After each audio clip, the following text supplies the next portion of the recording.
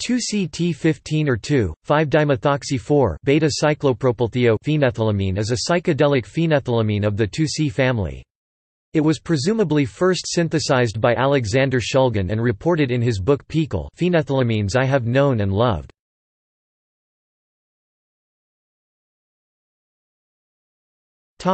Chemistry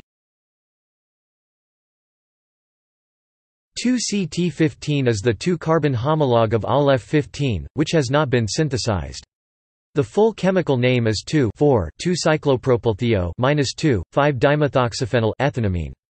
The drug has structural properties similar to 2-CT2 and other drugs in the 2-CT series.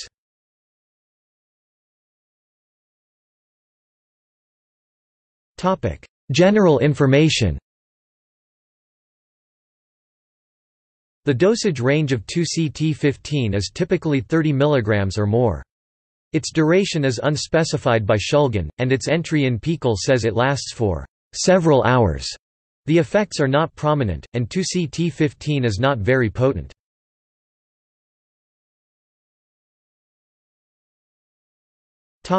Pharmacology The mechanism that produces 2-CT15's hallucinogenic and entheogenic effects has not been specifically established, however it is most likely to result from action as a 5-HT2A serotonin receptor agonist in the brain, a mechanism of action shared by all of the hallucinogenic tryptamines and phenethylamines for which the mechanism of action is known.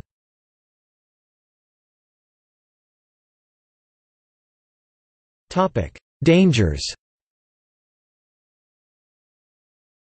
The toxicity of 2-CT15 is not well documented.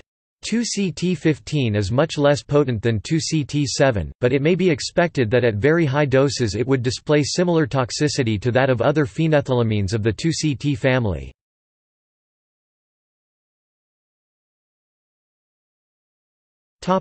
Legality 2CT15 is not explicitly illegal in the USA, but possession and sales of 2CT15 could be prosecuted under the Federal Analog Act because of its structural similarities to 2CT7. 2CT15 is a Class A drug in the UK under the Misuse of Drugs Act.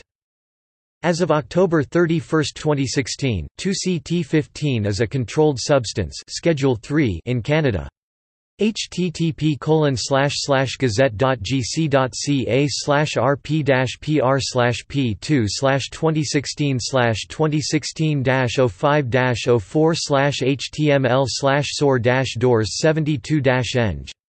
Php